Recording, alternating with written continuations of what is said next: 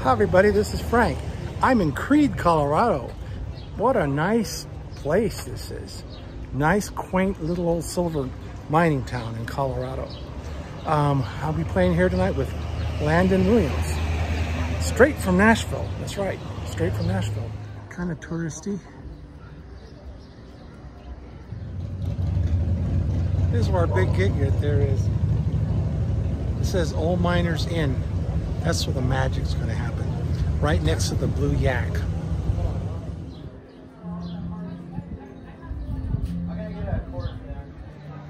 Well, we're all set. Just waiting for the downbeat to start.